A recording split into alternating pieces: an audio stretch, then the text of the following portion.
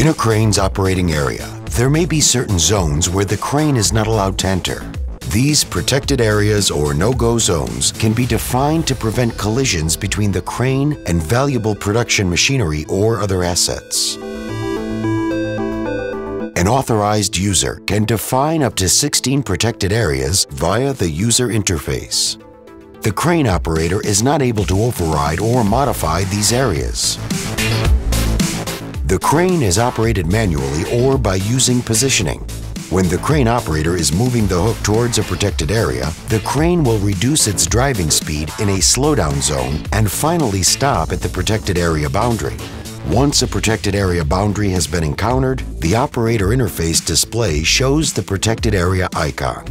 To pass by the protected area from the side or from above, the crane has to be operated manually.